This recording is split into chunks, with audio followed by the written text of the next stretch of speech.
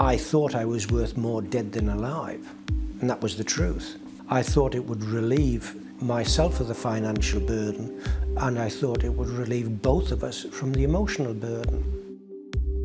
Over 20 years ago, a seemingly ordinary British couple defrauded hundreds of thousands of pounds from a life insurance policy by faking a canoeing accident.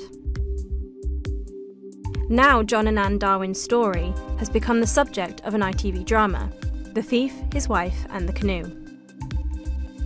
But who is the real canoe conman? And how did his wife become complicit in the deception? John Darwin ran a business renting bedsits across County Durham until 2000, when he ran into debt and was on the verge of bankruptcy. Two years later, he went missing while canoeing off the coast of Seaton Carew in Cleveland. Rescuers found no sign of Darwin and were puzzled as to how he got into trouble as the sea had been unusually calm. But his wife still received the death certificate and was able to claim £250,000 in life insurance. Anne spun a web of deceit when questioned by police, and for five years she even lied to the couple's two sons, while Darwin secretly lived in a bedsit next door. John and Anne eventually decided to start a new life in Panama City. But in a strange twist, Darwin walked into a London police station in 2007, claiming he had no memory of the past five years.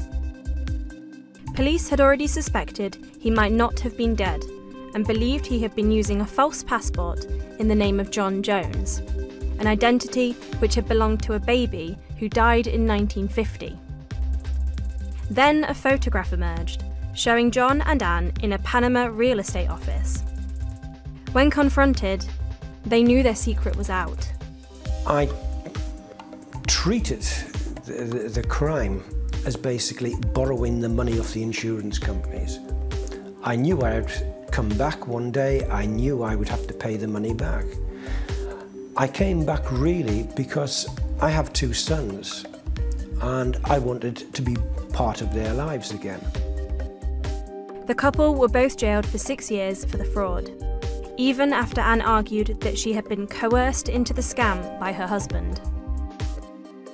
The whole story might seem unbelievable, but perhaps most surprising of all is the fact that had Darwin not turned himself in, they might just have got away with it. I'll get that little piece of dandruff off.